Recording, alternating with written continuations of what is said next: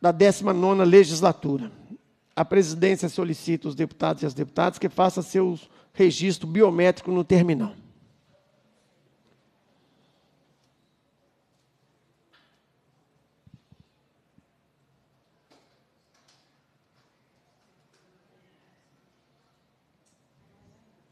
Registrou a presença aí?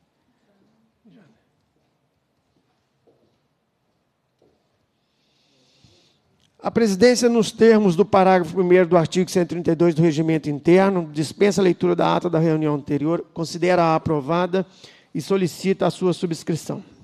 A finalidade desta reunião é apreciar a matéria constante na pauta e a receber, discutir e votar proposições da comissão. A presidência informa o recebimento das seguintes correspondências. Ofício do senhor Jesus Santos de Souza, vereador de Águas Formosas encaminhando as demandas e reivindicações dos funcionários do consórcio que opera na Macro Nordeste Jequitinhonha. Ofício do senhor Honório de Oliveira, presidente do CISDeste, encaminhando a situação da frota de ambulâncias do SAMU da região de Juiz de Fora e o impacto no atendimento da população. E-mail do senhor Paulo, recebido através do Fale com as Comissões, solicitando a comissão que a comissão manifeste seu apoio ao projeto de lei federal número 72 de 2012, que inclui os fisioterapeutas e terapeutas ocupacionais no programa de saúde da família. E-mail do senhor Aloysio Machado, solicitando que a comissão intervenha junto ao governo do Estado para verificar a possibilidade de mudança de lugar da ET, Estação de Tratamento de Esgoto, na cidade de Sete Lagoas ofício do senhor Lauro Coelho Júnior, procurador da República, prestando informações relativas ao requerimento número 1456-2019 sobre o arquivamento do, do procedimento preparatório para impedir a interrupção do fornecimento de medicamentos oncológicos no município de Divinópolis, visto que o pedido é completamente genérico e não trouxe nenhum elemento concreto, informando ainda que esse assunto já foi tratado no âmbito de inquérito civil ofício do, do senhor Marcelo José Ferreira, procurador da República, em substituição na Procuradoria da República de, Direito, de Direitos do Cidadão, prestando informações relativas ao requerimento número 10.322-2018 sobre o arquivamento do procedimento preparatório para apuração de possíveis irregularidades na aplicação dos recursos federais destinados à saúde, visto que não há elementos de prova ou informações suficientes para o seu regular procedimento. Ofício do senhor Carlos Eduardo Amaral, secretário de Estado, Secretaria de Estado de Saúde, prestando informações relativas ao requerimento número 757-2019, sobre o valor investido para a construção do Hospital Regional de Juiz de Fora. Ofício do Gustavo Oliveira Barbosa, secretário de Estado da Fazenda, justificando sua ausência na audiência pública, que debateu as condições de atendimento do SAMU. Ofício do do senhor Carlos Eduardo Amaral, secretário de Saúde do Estado, prestando informações relativas ao requerimento 934 sobre as diretrizes da política de saúde mental no Estado. Ofício do secretário estadual de Saúde, Carlos Eduardo, prestando informações relativas ao requerimento 1454-2019 sobre o montante de recursos financeiros repassados ao município de Januária ofício do senhor Leonardo Augusto Bousada de Azevedo, presidente da Câmara Municipal de Barão de Monte Alto, prestando informações relativas ao requerimento 1579, que pediu providência para vários municípios para que debatesse as medidas de prevenção e controle da dengue. Ofício do secretário estadual de Saúde, prestando informações relativas sobre os valores financeiros repassados a todos os CACONs e UNACONs do Estado. Ofício do senhor Sami Carvalho Moisés, prestando informações relativas ao requerimento que pediu providências para o pagamento dos recursos em aberto destinados à rede Cegonha e à Casa de Apoio à Gestante e, à Mãe Puérpera. Ofício do senhor Samir Carvalho Moisés, subsecretário de Articulação Institucional da Secretaria de Estado de Governo, que pediu providências para equacionamento dos restos a pagar relativos às ações e serviços públicos da saúde.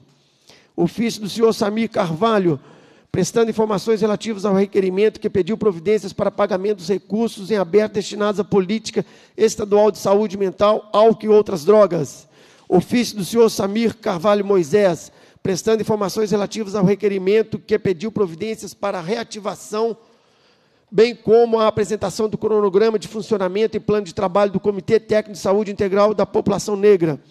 Ofício do senhor Samir, que pediu prestando informações relativas ao requerimento que pediu providência para o pagamento de incentivo financeiro para o cofinanciamento da atenção primária à saúde ofício ainda do senhor Samir Carvalho, prestando informações ao requerimento que pediu providências para a reativação do cronograma de funcionamento e plano de trabalho do Comitê Técnico de Saúde Integral da População de Lésbicas, Gays e Bissexuais. Ofício do senhor Samir Carvalho, prestando informações relativas ao requerimento que pediu providência para o pagamento de recursos em aberto destinados à política estadual de promoção à saúde. Ofício do senhor Bilac Pinto, secretário de Estado do Governo, prestando informações relativas ao requerimento que pediu providência para assegurar o cumprimento do mínimo constitucional na área de saúde. Ofício do senhor Samir Carvalho, prestando informações relativas ao requerimento que pediu providência para implantação de diretrizes de metas da saúde aprovada nos eixos temáticos. Ofício do senhor Samir Carvalho, pedindo, prestando informações relativas ao requerimento que pediu providência para fortalecer os pontos de atenção à rede da saúde psicossocial ofício do senhor Samir Carvalho Moisés, prestando informações relativas à prestação de conta dos recursos transferidos do Fundo Estadual de Assistência Social e do Fundo Estadual de Saúde. Ofício do senhor Samir, prestando informações ao requerimento que pediu providência para reativação do cronograma de funcionamento e plano de trabalho do Comitê Estadual de Prevenção à Mortalidade Materna Infantil. Ofício do senhor Samir, que pediu, prestando informações ao requerimento que pediu providências para implantação do cronograma de funcionamento e plano de trabalho do Comitê Técnico Estadual e Saúde Integral da População do Campo. Ofício do senhor Dante de Matos, prestando informações relativas ao requerimento que pediu providência para a viabilização de cronograma social que permita o acesso de idosos e pessoas carentes nos termas Antônio Carlos de Postos Caldas ofício do senhor Marcelo José Ferreira, prestando informações relativas ao requerimento sobre o arquivamento do procedimento preparatório para apuração de possíveis irregularidades na aplicação dos recursos federais destinados à saúde, visto que há elementos de prova ou informações suficientes para o seu regular prosseguimento. Ok. Matéria recebida e designação de relator a presidência acusa o recebimento do projeto de lei número 9.924-2019 em primeiro turno, para o qual foi designado relator o deputado Eli Tarquínio. Passamos à segunda parte da ordem do dia, em sua primeira fase, que compreende a discussão e a votação de pareceres sobre as proposições sujeitas à apreciação do plenário. Eu passo agora a presidência para a deputada Rosângela Reis, para que ela faça apreciação do projeto de lei de minha autoria. Projeto de lei número 5.455 de 2018.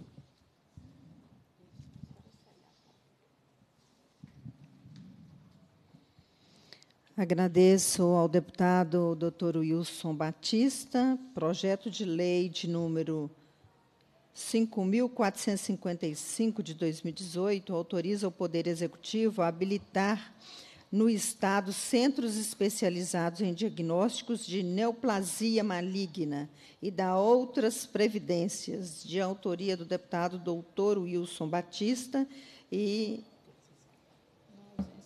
na ausência do relator, redistribuo a matéria para o deputado Elismar Prado e, indago se está em condições de emitir o seu parecer.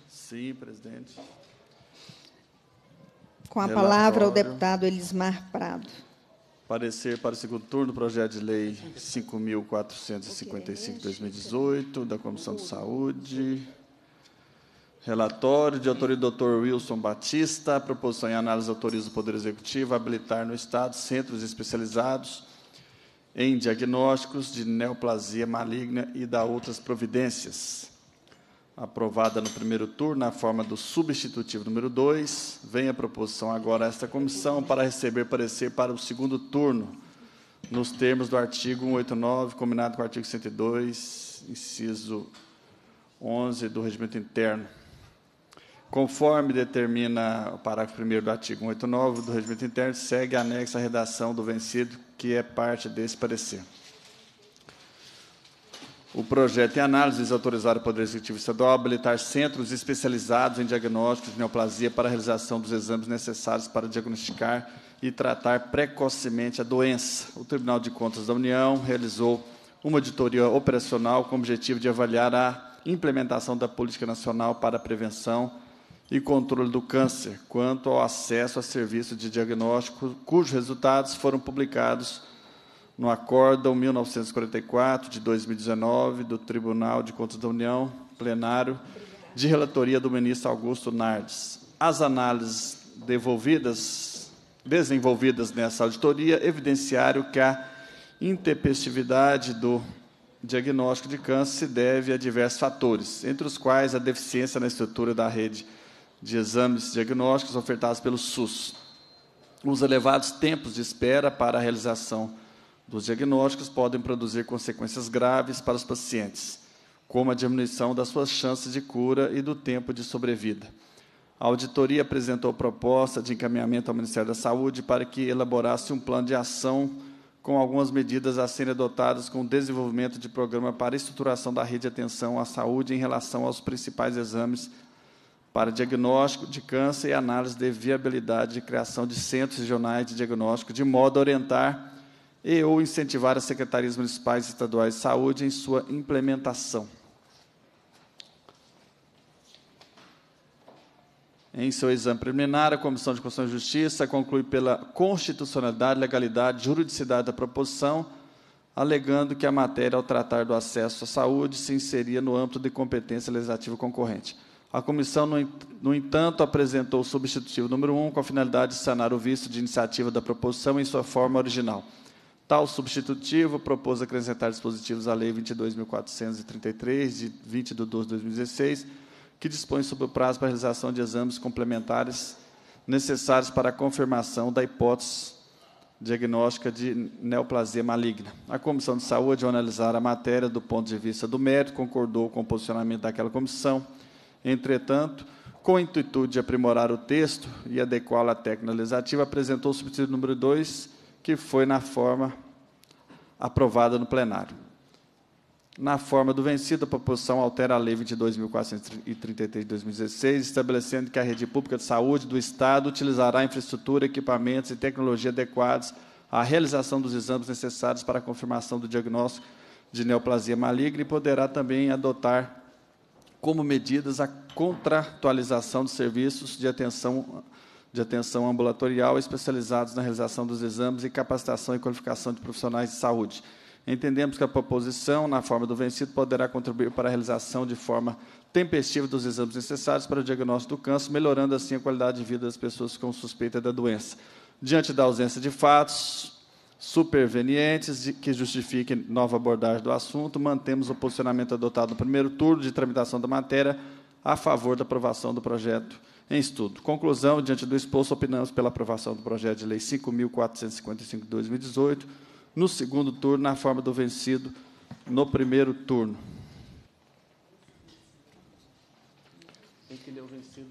Em discussão, o parecer. Em votação, o parecer. Os senhores deputados e deputadas que o aprovam permaneçam como se encontram. Aprovado o parecer. É, devolvo a presidência para o deputado doutor Wilson Batista. Declaração de voto, deputada Rosângela Reis. Muito obrigado ao deputado, ao deputado Lismar Prada, deputada Rosângela Reis, pela aprovação desse projeto. Nós sabemos da importância imensa que é esse projeto. Eu acho que é uma das é, dos momentos que verdadeiramente nós vamos estar enfrentando o câncer no Brasil. O Brasil ainda é um país que diagnostica o câncer em fase muito tardia. Ou seja, mais de 60% dos pacientes são descobertos em estágio 3 e 4, onde já não há mais possibilidade de cura.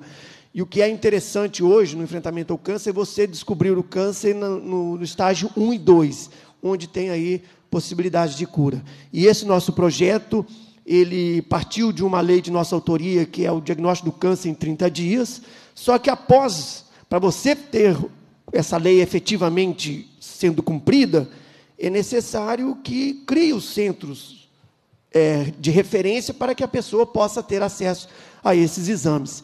Olha ali, nós estamos vendo ali, olha para você ver, um câncer de mama inicial. Você pode ver essa mama esquerda da paciente, ela foi totalmente ressecada e reconstruída de imediato. É uma cirurgia que a gente fez no, lá no Hospital São Paulo, em Muriaé. Você vê que a paciente praticamente fica sem nenhuma cicatriz, com a mama toda reconstruída.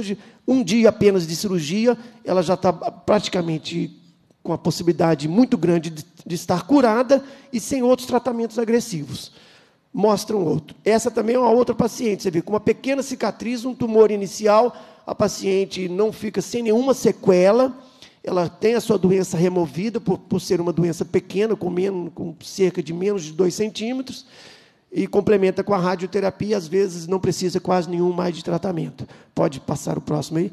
Enquanto que você. Pode passar? Enquanto que você encontra assim, pacientes, olha, onde o tumor já está avançado, comprometendo quase toda a mama, essa paciente passou por diversas unidades de saúde, já está com uma mamografia alterada há mais de ano, mas só que ela ainda não encontrou até hoje a biópsia da mama. É essa que é a nossa preocupação, é pacientes passarem anos porque não confirmou o diagnóstico que é a biópsia e, portanto, não pôde iniciar nenhum tratamento, nem cirurgia, nem quimio, nem rádio. Hoje, essa paciente já tem uma doença avançada, certamente essa doença já deve estar comprometendo outros órgãos, é uma doença provavelmente sem possibilidade de cura, o paciente vai ficar aí anos fazendo quimioterapia, meramente paliativo, o Estado, o governo vai gastar com ela mais de 100 mil reais, enquanto que se ela fosse encontrada a doença lá no início, ela com apenas uma internação, com menos de 10 mil reais, ela ficaria curada. Hoje, nem com gasto de 100, 150, 200 mil reais, a gente consegue mais curar essa paciente. Então, é isso que o médico não quer encontrar no seu dia a dia do trabalho. É uma doença avançada por uma dificuldade do sistema público de ter prestado uma assistência para ela oportunamente e ela ter tido um diagnóstico inicial e ter sido curada. Fora outros aspectos, pacientes com doenças avançadas, muitas das vezes, às vezes nem consegue é, reconstrução, a paciente fica sequelada. Se for fazer uma reconstrução, são com técnicas muito complexas, às vezes o paciente nem acaba não aceitando a reconstrução. Pode passar aí. É, ali nós temos pacientes com reconstruções, mas você vai ver que, olha, é uma reconstrução mais trabalhosa, né? Exige rotações grandes de retalho para poder reconstruir aquela mama, às vezes com sequela, com, com complicações. Então, o ideal é tratar, como mostrei para vocês, o, o, câncer no estágio inicial, que há tanta reconstrução quanto os tratamentos são muito menos agressivos. Pode passar aí.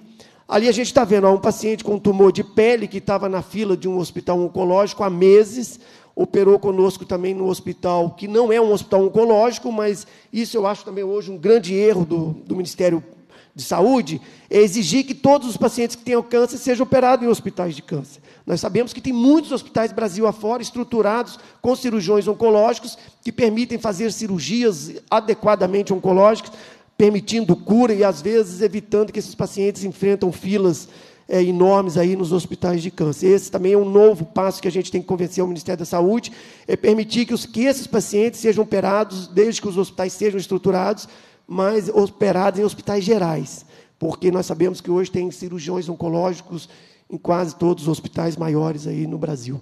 Então, é outro desafio que a gente vai ter que demonstrar para o Ministério da Saúde. Então, meus amigos, eu gostaria aqui é, de agradecer a aprovação desse nosso projeto, que é, permite ao Estado, autoriza o Estado a criar centros especializados dedicados às biópsias, dedicados ao diagnóstico, antecipar o diagnóstico do câncer. Porque nós temos, estamos vendo ali, ó, o diagnóstico do câncer atrasa no SUS, em até 80% dos casos são descobertos em estágios avançados. Isso porque os pacientes passam mais de 200, às vezes 270 dias, que é a média que um paciente hoje espera para conseguir uma biópsia no Sistema Único de Saúde. Então, muito obrigado, presidente. presidente. Com a palavra, o deputado Elismar Prado. Quero apenas Agradecer a deputada Rosângela Reis, também rapidamente agradecer, parabenizar o doutor Wilson Batista pela iniciativa do projeto. Para mim é uma honra ter feito aqui o relatório, participar dessa luta. Quero parabenizar, que é fundamental aí a lei dos, dos 30 dias, né? Porque o diagnóstico do câncer realmente não pode esperar de forma nenhuma. Quem tem câncer tem pressa, e isso faz a grande diferença na vida aí de milhares de pessoas né, que procuram atendimento. E, inclusive, parabenizar aqui o deputado Wellington Prado, que foi o autor aí, o grande articulador para a criação da primeira comissão especial de combate ao, ao, combate ao câncer na Câmara Federal. Né? Eu acho que a gente precisa de avançar nesse sentido. O Brasil precisa melhorar os seus números, e um deles é esse, né, dessa iniciativa do Dr. Wilson Batista, que é, é essa celeridade nesses processos, no diagnóstico. E, para isso, todo o sistema de saúde tem que se preparar para atender a pessoa com dignidade. Né? A gente sabe que é, grande parte, é 90% dos casos de câncer, inclusive maligno, tem cura, mas é, o diagnóstico rápido e o acesso do paciente ao tratamento faz a grande diferença né, na vida dessas pessoas. Então, quero parabenizar, dizer que é uma honra e dizer que a gente vai somar forças aí junto com o deputado, né, o doutor Wilson Batista, no sentido de que o Estado, não digo o governo, que o Estado, o poder público, se prepare para isso, para atender com dignidade. Né? Somos favoráveis ao projeto e à criação dos centros de diagnóstico. Inclusive, já foi aprovada a lei federal também, sancionada a lei dos 30 dias, que dá o direito do paciente do SUS ao exame de biópsia no, no prazo máximo em 30 dias, contados a partir do pedido médico. E queremos que Minas Gerais se prepare, se estruture para fazer esse atendimento também. Parabéns, doutor Wilson. Com a palavra, deputada Rosângela Reis, pela ordem. Presidente, eu não posso deixar aqui também de deixar a minha mensagem, o meu manifesto, de primeiro parabenizar Vossa Excelência pela atuação aqui nessa casa, é, pela luta, é, principalmente é, no que tange a área da saúde, né, pela melhoria da qualidade de vida das pessoas.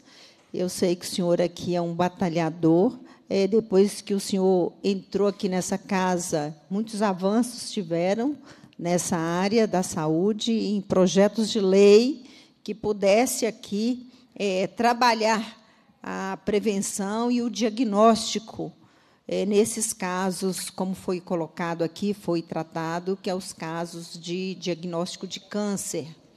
E esse projeto de lei é um projeto de lei importante, que ele vem antecipar né, um problema que vai gerar ainda mais problemas ainda para as pessoas e também para as famílias. E, e nós temos aí hoje, dependendo do sistema SUS, a maioria das pessoas que desde demanda uma mamografia até mesmo uma ressonância magnética, uma, um ultrassom, e que não está é, é, no acesso dessas pessoas. Dependendo do SUS, ficam dependentes do SUS, não tem um plano de saúde, e elas demandam aí realmente essa espera, essa espera, espera, e que espera por um mês, por dois, por cinco, por um ano, e causa problemas, como foi apresentado ali, né, e que, é, às vezes, não tem mais uma solução. E, e isso é, mexe com as pessoas, né, esse tratamento de saúde, e, às vezes, a pessoa não tem onde bater na porta e, e, e procurar um médico. Né, o sistema da prefeitura, quando vai na prefeitura, no município, ela também não tem solução para o caso. Então, isso nós temos deparado com muitas pessoas que não conseguem. E até os centros de oncologia também. Chega num ponto que os centros de oncologia, eles, eles têm, sim, é, o procedimento para viabilizar o serviço, mas não tem a porta de entrada também. Né? Então, isso aí também fica muito difícil, muito complicado. Então, eu quero aqui parabenizar Vossa Excelência pela sua atuação e por esses projetos importantes que tem trazido a essa casa para que possa o Estado realmente dar é, celeridade da celeridade nos atendimentos. Conta comigo, vamos trabalhar também para que o plenário possa, tenho certeza que no plenário todos os deputados também farão coro né, e, e darão apoio a esse projeto de lei. Né? Vamos trabalhar que no plenário também ele seja votado, né? e com muita honra poder participar desta comissão aqui nesse momento e de aprovar um projeto que é de fundamental importância. Parabéns a Vossa Excelência. Muitíssimo obrigado, deputada Rosângela Reis. Eu acho que realmente esse projeto ele vai dar uma ferramenta para que a Secretaria de Estado de Saúde e o governo do Estado possa criar esses centros do diagnóstico, porque existe duas etapas hoje no enfrentamento ao câncer. É o tempo de espera até o diagnóstico, que esse seria o intervalo do diagnóstico, é onde as pessoas estão realmente esperando por meses, por é, quase anos, né? E o, o intervalo do tratamento, ou seja, do diagnóstico até o tratamento. Então, o intervalo maior hoje que a gente sabe, o gargalo é esse: é da, da queixa do paciente, daquela suspeita de ter câncer, e até o dia de confirmar e o paciente ter a biópsia confirmando para que ele vá até um centro oncológico para iniciar o tratamento. Porque todos os hospitais que tratam do câncer hoje, os centros oncológicos, ele exige para que o paciente seja matriculado no hospital, para que o paciente possa ter ali, ser admitido no hospital, eles exigem a biópsia. E é isso que os pacientes não estão conseguindo fazer oportunamente. É a biópsia, porque hoje o, o SUS ele paga por uma biópsia de mama, por exemplo, Elismar Prado, cerca de 78 reais. Só a agulha para fazer essa biópsia, que é uma agulha especial, custa quase 100 reais. E ainda tem o acréscimo do ultrassom, de outros materiais, medicamentos, anestésico, a estrutura do hospital para fazer essa biópsia. Então, o que o SUS paga não dá para que as pessoas, que os médicos realizem essas biópsias. E é por isso que o paciente fica esperando por meses e a doença vai se agravando a cada dia. E já tem estudos no Brasil e até no, com literatura internacional mostrando que a partir de 90 dias que o paciente está convivendo com a doença, ele a cada semana ele já começa a adentrar na fase de incurabilidade, ou seja, ele já passa para aquela fase onde, onde a doença já não tem mais possibilidade, às vezes, de ser removida, e aí o paciente vai fazer tratamentos paliativos. Então, daí a importância do paciente, a partir do momento que já apresentou aquele sintoma, uma suspeita de câncer, ele ter no máximo até 90 dias para iniciar o tratamento. Então, seria 30 dias para o diagnóstico e depois ele tem ainda uma, uma, uma etapa que é de estadiar a doença, para saber a extensão da doença e planejar o tratamento, que aí poderia durar mais 60 dias. Então, o paciente estaria começando o tratamento com menos de 90 dias, que é o período, a janela de oportunidade que quem tem câncer hoje pode ter essa janela de cura. Então, é por isso que a gente insiste muito nessa necessidade de antecipar o diagnóstico do câncer. Isso vai permitir que muitas pacientes possam ser curadas com tratamentos menos agressivos e com muito menos custo para o Estado. Se um diagnóstico desse você conseguir, com esse centro, com essa estrutura para confirmar o diagnóstico do câncer, cada paciente diagnosticado ali no estádio 1 e 2, o Estado vai gastar com ele menos de 10 mil reais. Enquanto que cada paciente desse que passa para o estágio 3 e 4, onde o paciente vai fazer quimioterapia durante um ano, dois anos, e tratamentos paliativos, o Estado vai gastar com esse paciente mais de 100 mil reais. Ou seja, cada diagnóstico antecipado é uma economia para o Estado, para os cofres públicos, de mais de 100 mil reais. Então, por que não é, oferecer, investir mais no diagnóstico? Ontem eu estava no Ministério da Saúde, eu, debatendo com a Comissão de Oncologia do Ministério da Saúde, deixei muito claro para eles o que um pecado que nós estamos fazendo hoje com os pacientes oncológicos é o diagnóstico tardio, é não antecipar esse diagnóstico. Porque quando a gente antecipa o diagnóstico, gasta-se menos, cura-se mais, quando diagnostica-se mais cedo. Então, eu acho que essa que é a intenção desse projeto nosso, e está aí aprovado, e vamos agora aguardar a boa vontade do governo do Estado. Agradecer aqui também a presença do deputado doutor Jean Freire. Jean Freire, ser sempre importante aqui na, na comissão. Vossa Excelência, como médico, como defensora do, do povo do, do, Vale do Jequitinhonha, é sempre um prazer tê-lo aqui conosco na, na comissão. Passa-se a segunda fase da ordem do dia, que compreende a discussão e a votação de proposições que dispensam a apreciação do plenário.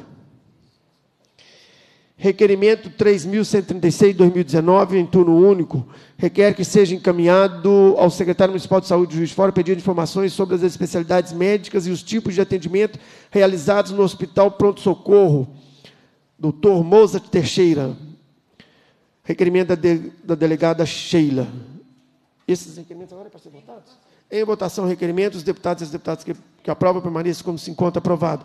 Requerimento do deputado doutor Paulo, 3.151, 2019, requer que seja feito votos de congratulações com o senhor Sérgio Ribeiro da Silva e José da Silva Neto pela criação e desenvolvimento do PBS, um cimento que proporciona intervenção indolor no tratamento de cáries e afins. Em votação, requerimento. Os deputados que aprovam permaneçam como se encontra. Aprovado.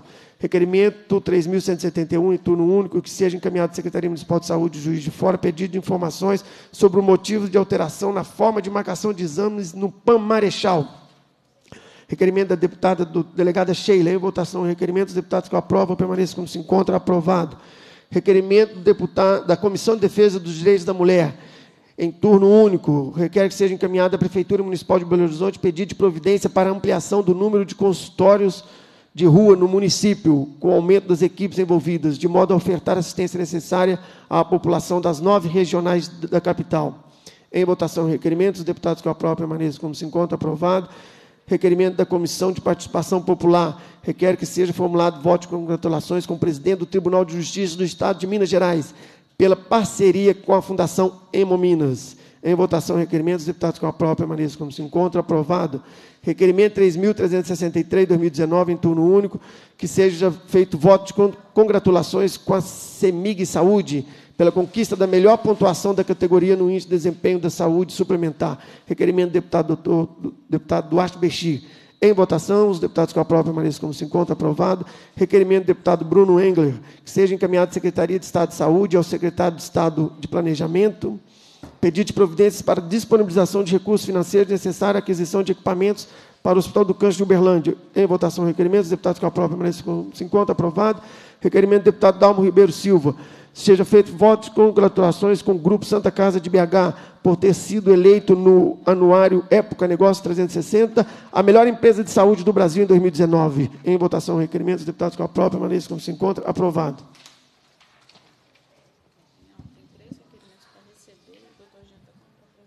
Tá Passo a palavra ao deputado Jean Freire para que ele faça o uso da palavra para apresentação do seu requerimento. Obrigado, senhor presidente. Eu estou apresentando esse requerimento, senhor presidente. Queria solicitar de Vossa Excelência a possibilidade de votá-lo hoje é, para a criação de hemodiálise é, no município de Aimorés. Aqui no requerimento está para fazer audiência lá, mas a audiência não necessariamente precisa ser feita lá, pode ser feita em Belo Horizonte para a gente debater. É até melhor que ela seja feita em Belo Horizonte para debater a criação de hemodiálise. Pois não, deputado Jean Freire. Vamos colocar em votação o requerimento do deputado Jean Freire para que seja realizada audiência pública né, no município de Aimorés para debater o serviço de hemodiálise nessa, nesse município e região. Em votação o requerimento, os deputados que aprovam permaneçam como se encontra. Aprovado. Requerimentos que serão recebidos hoje para ser votado na próxima reunião. Requerimento do deputado Mauro Tramonte. Seja formulado voto de congratulações com a Uniodonto Poços de Caldas. Requerimento do deputado Coronel Henrique. Seja encaminhado ao secretário de Estado de Saúde pedido de informações sobre a suspensão da resolução da Secretaria Estadual de Saúde, que realiza comércio varejista de carnes no âmbito do Estado de Minas Gerais, até a efetivação da necessária revisão do seu artigo para previsão legal da responsabilidade técnica do médico veterinário para as atividades reguladas pela referida resolução. Serão votados na próxima reunião.